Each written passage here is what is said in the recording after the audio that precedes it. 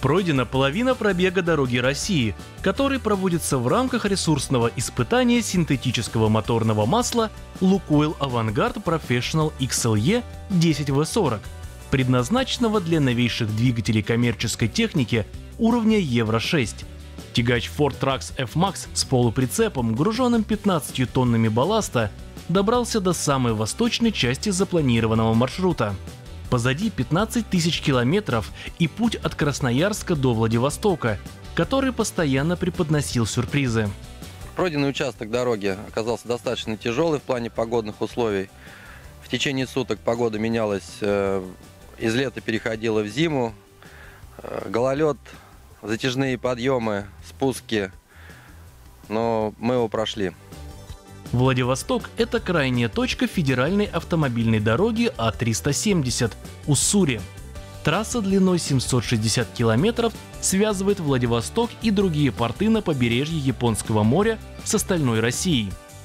Стратегическое шоссе вдоль реки Уссури, Транссибирской железной дороги и китайской границы начали строить в 1934 году и закончили менее чем за год.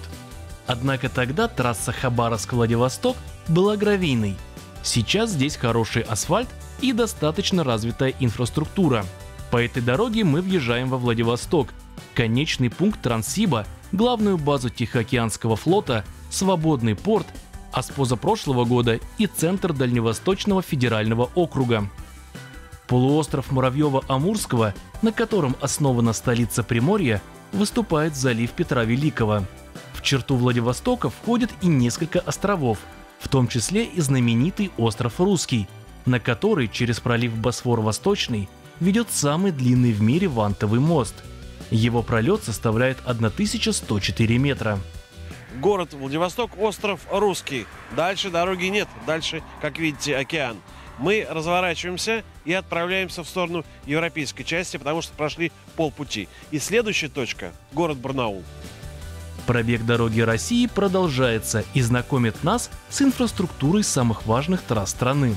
Чтобы рассказать о том, комфортно ли чувствуют себя автопутешественники и водители грузовиков. Впереди еще много дорог и 15 тысяч километров пути.